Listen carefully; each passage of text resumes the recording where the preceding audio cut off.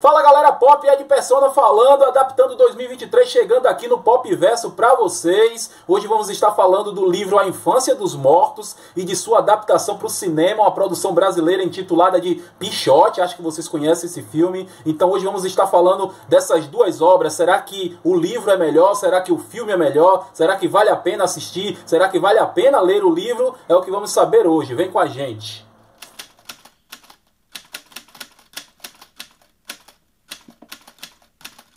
Pessoal, o livro foi escrito por José Louzeiro em 1977. A edição que eu tenho aqui é essa, da editora Record.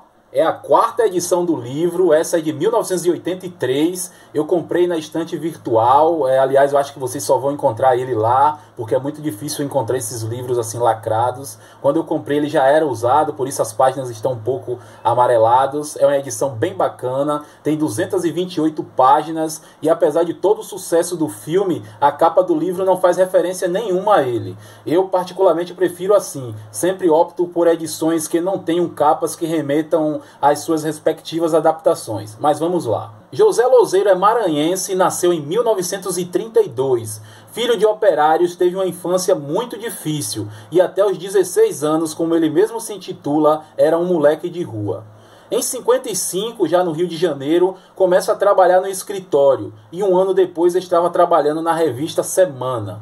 Além de trabalhar escrevendo para a revista, Louzeiro também começa a escrever romances alguns deles de muito sucesso, como Lúcio Flávio, O Passageiro da Agonia, que também seria adaptado para o cinema pelo mesmo Hector Babenco. A infância dos mortos conta a história de Dito e seus amigos de rua, Pichote, Manguito, Fumaça, dentre outros, todos eles menores abandonados que viviam nas ruas do Rio de Janeiro. O livro começa trazendo estatísticas oficiais que relatavam a situação que o país atravessava com relação aos menores abandonados daquela época, ou o estado de carência. Na época eram cerca de 15 milhões de menores abandonados, segundo o jornal Brasil. Essa constatação real já cria um impacto em nós leitores, que já começamos a história sabendo que, mesmo se tratando de algo fictício, não significa que não tenha acontecido. Então seguimos o dia a dia desses meninos, sempre pela perspectiva de Dito. Ele é o protagonista absoluto aqui no livro, está presente em praticamente todos os capítulos. Ele é um menino muito inteligente, muito simpático, astuto, falastrão. Podemos descrever ele como um jovem boa praça. O livro dá a entender que ele deve ter ali uns 15 a 16 anos e sempre viveu nas ruas. Apesar da narrativa estar focada ali no dia a dia dos garotos nas ruas, é, o autor ele estabelece uma trama bastante sólida e que a gente já é envolvido nela nas primeiras páginas. Os meninos estão indo ali de encontro a um traficante chamado Cristal. Esse tem uma encomenda para que eles levem até São Paulo, uma missão extremamente perigosa que já deixa a gente bem apreensivo no início. Antes de continuar, eu sei que vocês já conhecem como funciona o adaptando aqui, mas para quem chegou aqui hoje e não conhece o quadro, ele vai estar tá recheado de spoilers, então sigam por sua conta em risco. Então, continuando aqui agora, com todo mundo já avisado dos spoilers, o livro ele já começa nos surpreendendo. Eu me surpreendi demais quando eu vi que Pichote morre nas primeiras páginas, logo no primeiro capítulo ali. Como é homem? O Pichote aqui é escrito com CH e ele morre na travessia do cemitério. Eles estão, eles estão indo ali no encontro de, de cristal e eles cortam o caminho pelo cemitério. E um segurança do cemitério, imaginando que eles fossem roubar alguma coisa, ele mata o garoto, né? Alveja ele com alguns tiros e Pichote morre já no primeiro capítulo. O jeito como o Louzeiro descreve o acontecido é muito tocante e a atitude que os seguranças, junto com a administração do cemitério, tomam depois do crime para estar tá acobertando tudo ali deixa a gente bastante revoltado também. Apesar da tragédia, os garotos seguem o plano e partem ali para São Paulo para entregar a encomenda a Débora, que é a receptora. É, aqui nesse primeiro capítulo para o segundo temos uma virada bastante abrupta. No momento os garotos estão no trem e na linha seguinte eles já estão ali numa cafeteria da cidade super à vontade. Aliás, essas transições abruptas vão ser bastante recorrentes aqui no decorrer do livro, principalmente nas viradas de capítulo. É, em alguns momentos é, não incomoda, né? Não faz muita diferença, mas em outros momentos meio que quebra o ritmo da história e tira a nossa imersão ali do, do momento. Ponto positivo para o livro está também nas descrições dos personagens. Louzeiro ele é bastante detalhista, tanto na parte física quanto nos elementos que compõem é, a personalidade de cada um dos personagens. Ele é muito detalhista, é muito bom realmente. Nós seguimos a história com a espalhafatosa Débora, que é a receptora, recebendo a encomenda, porém não paga aos garotos o combinado, além de fazer uma cilada para eles, entregando eles à polícia. Os meninos são conduzidos à delegacia e o que eles sofrem aqui na delegacia, a tortura física e psicológica que esses meninos sofrem aqui, que é descrita pelo autor, é estarrecedora. É impossível você não se comover com toda a descrição terrível que Louzeiro faz da situação. Bom, eu não vou ficar entrando em muitos detalhes, mas o fato é que eles conseguem fugir da delegacia, retornam para São Paulo e agora o livro é movido por um sentimento de vingança da parte de Dito, que agora pretende se vingar de Cristal, porque ele imagina que foi Cristal que preparou a cilada ali para eles e também se vingar pela morte do seu amigo Pichote. Então é esse sentimento de vingança que agora será o tema mais forte aqui dentro de toda a história. Mesmo morto, Pichote com CH aqui ainda faz parte da história. É, eu achei bastante interessante porque ele está vivo ali na lembrança de Dito e constantemente Dito se recorda, fala, né, conversa com os amigos sobre Pichote, sobre as, as suas aventuras. Então ele é um personagem que mesmo morto ainda permanece vivo aqui dentro do contexto. E isso é muito legal porque, de certa forma, alimenta, né? serve para que a gente entenda um pouco as motivações de Dito nessa busca incessante dele por vingança. Outra coisa que Louzeiro faz muito bem dentro do livro aqui é o desenvolvimento dos diálogos. São diálogos bem simples, em muitas das vezes ingênuos, né, mas bastante genuínos. É, mesmo com toda essa simplicidade, é, ele sempre vem carregado de um peso terrível que vai fazendo a gente refletir sobre as situações miseráveis e absurdas que aqueles jovens viviam ali nas ruas. Com certeza a experiência que Louzeiro teve nas ruas foi muito influente aqui para ele produzir esses textos, como eu falei, textos genuínos e que provam que ele realmente tem é, prioridade, tem conhecimento do que está falando, do que está registrando, do que está relatando. É, ele também é muito preciso ali na descrição geográfica paulistana, descrevendo ruas, bairros, é, locais da cidade com a descrição perfeita, né? Isso tudo ajuda a gente a comprar mais a história, a tornar a história mais verídica.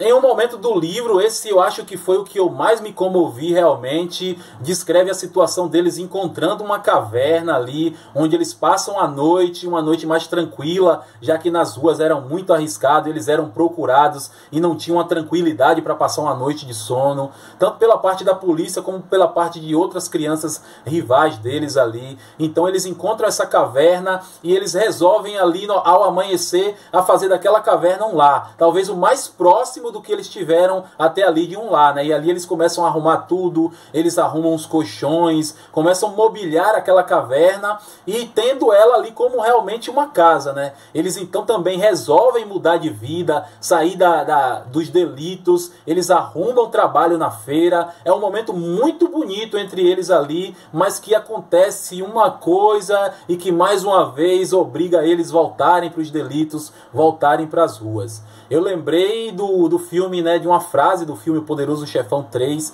de Michael Corleone, quando ele fala: Quando eu penso que eu estou fora, eles me puxam de volta.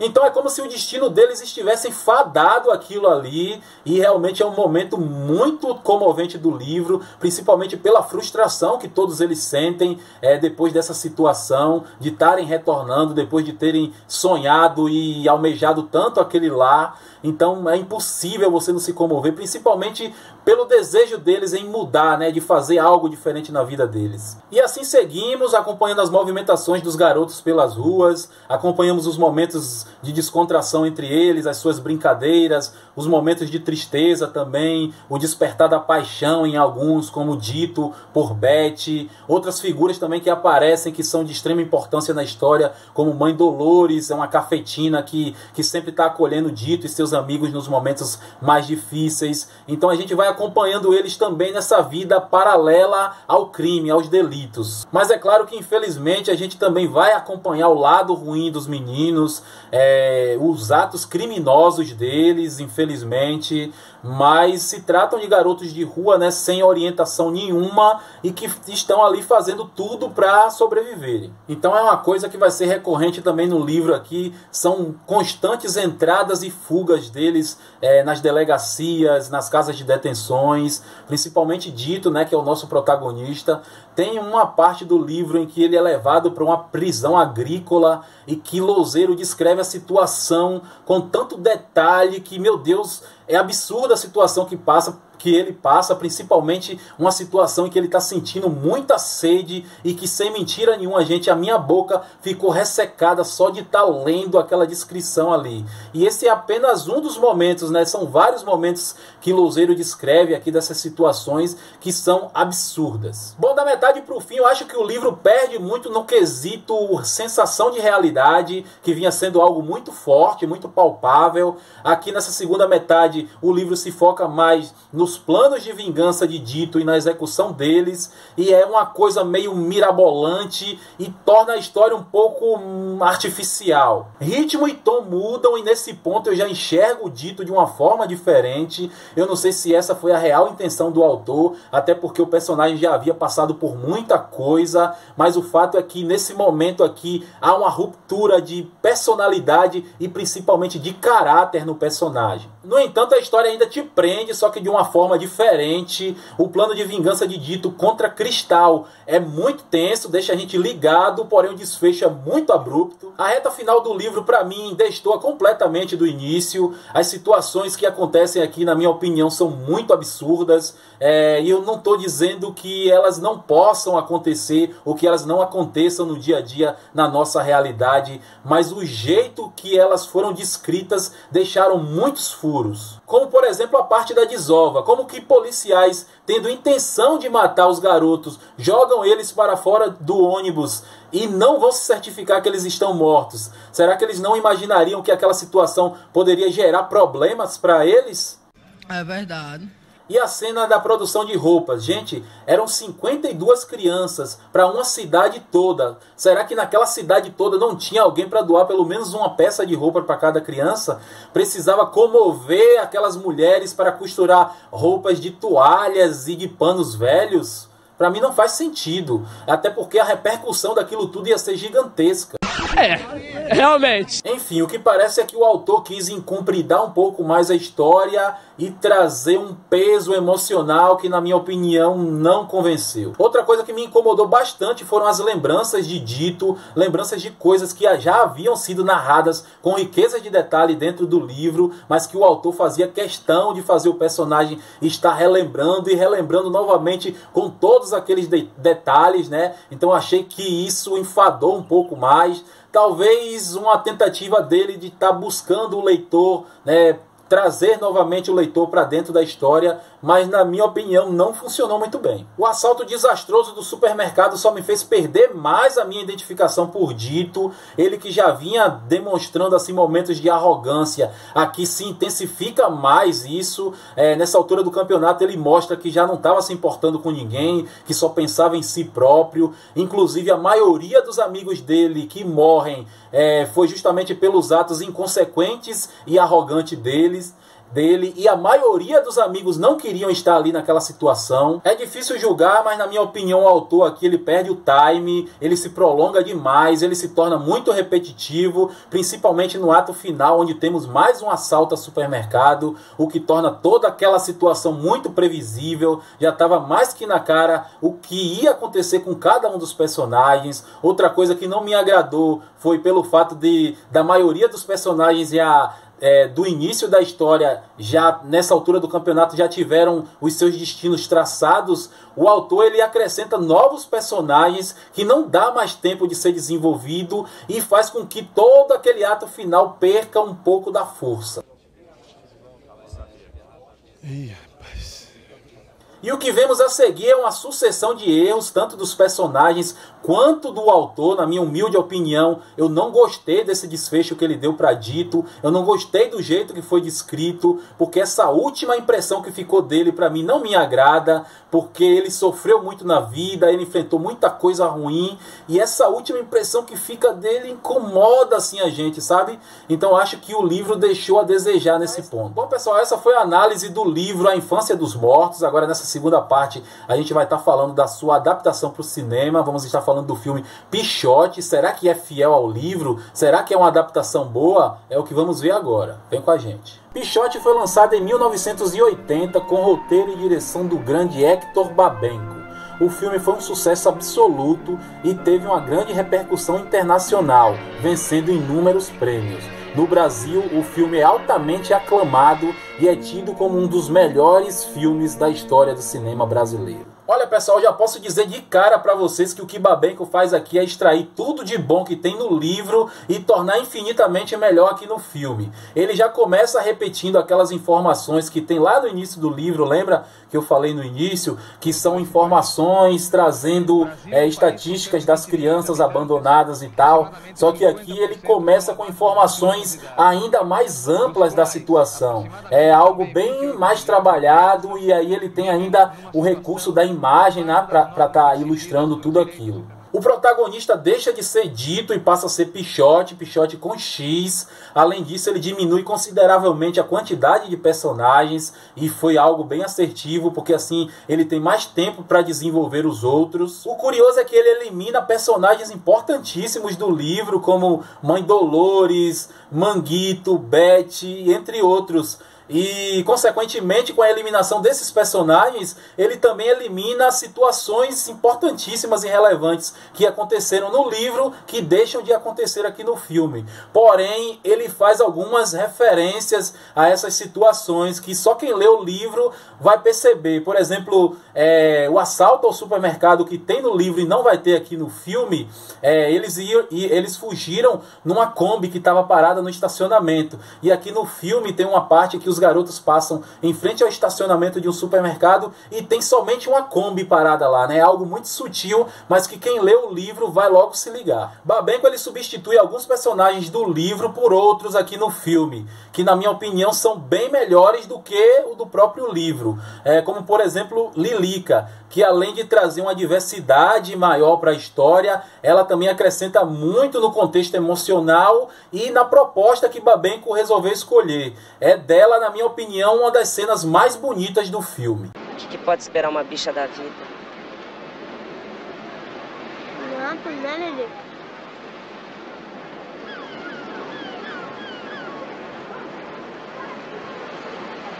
Eu vi o menino correndo eu vi o tempo brincando ao redor do caminho daquele menino.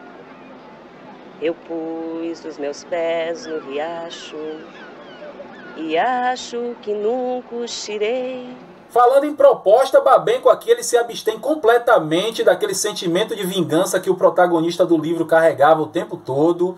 Ele primeiramente aqui apresenta os seus personagens, mostra a dura realidade a qual eles estão inseridos, mas prefere optar pelo lado mais inocente das crianças, afinal estamos falando de crianças, e o lado mais humano dos personagens. Dessa forma, todas as situações terríveis que inevitavelmente eles vão se envolvendo são contrastadas por esses sentimentos humanos, né? Companheirismo, amizade, amor, sentimentos que mostram que realmente o pecado desses garotos foi ter sido abandonados pelo mundo. Então, ao contrário do livro, pelo menos da metade para frente, a gente torce para os personagens todo tempo. Mesmo quando eles estão praticando delitos ali, a gente torce para que dê certo. Porque de qualquer forma a gente conhece a essência de cada um deles e sabe que, em essência, eles são garotos bons. É, como por, por exemplo, temos uma cena em que eles sequestram um cara e colocam no porta-malas e Pichote ele fica preocupado se o rapaz ele tá com fome, tá com sede.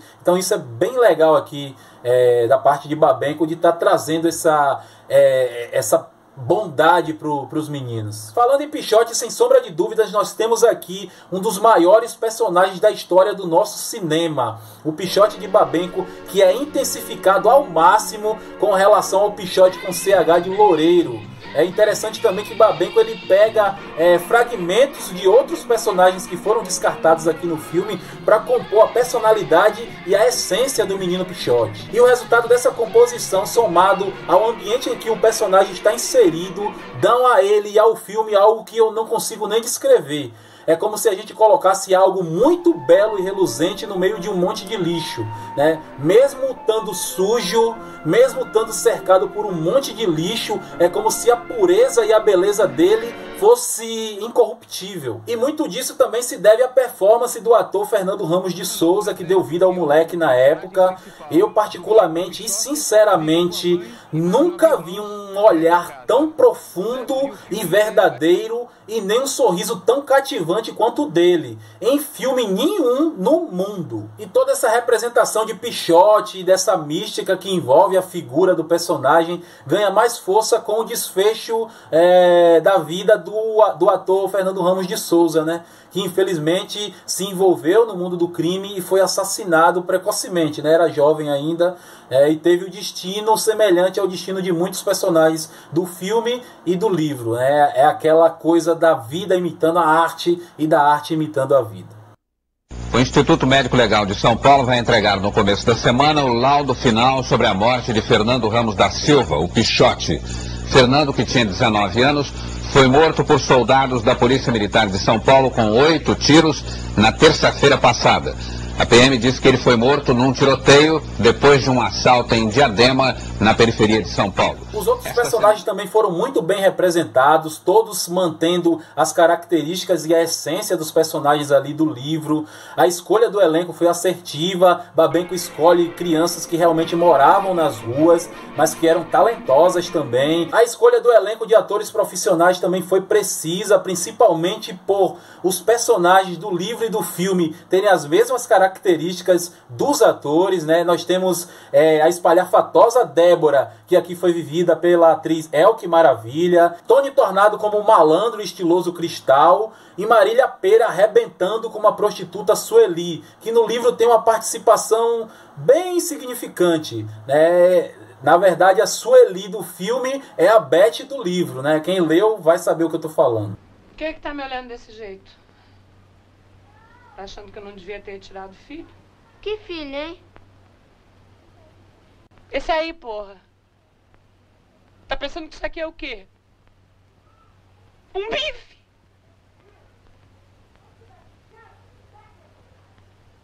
Tua mãe não te contou como é que tu vê o mundo, não? Foi assim, seu merda. Até parece contigo, olha bem pra ele.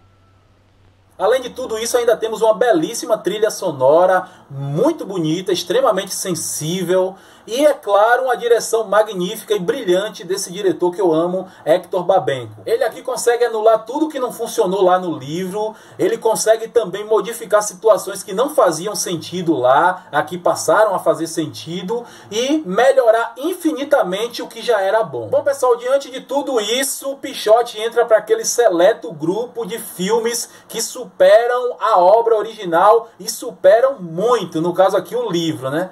É claro que é uma avaliação particular e vocês podem ficar à vontade para concordar e para discordar, mas o veredito do adaptando para Pichote é positivo, positivo e positivo. Agora eu vou comer um sorvetão de chocolate para completar minha barriga. A senhora, o que que vai? Eu? Um conhaque com marshmallow. Sorte! Bom, pessoal, é isso aí. Esperamos que tenham gostado desse primeiro Adaptando de 2023. Não se esqueçam de deixar nos comentários tudo o que vocês acharam de tudo que foi falado aqui. Não se esqueçam de deixar o like. Não se esqueçam de ativar o sininho, de se inscrever, compartilha com os amigos, ajuda o Pop Verso crescer. Vai lá no Instagram e segue a gente lá, pois tem conteúdo exclusivo que a equipe do Pop Verso prepara todos os dias para vocês. Muito obrigado por ter nos acompanhado até aqui e até a próxima, se Deus quiser.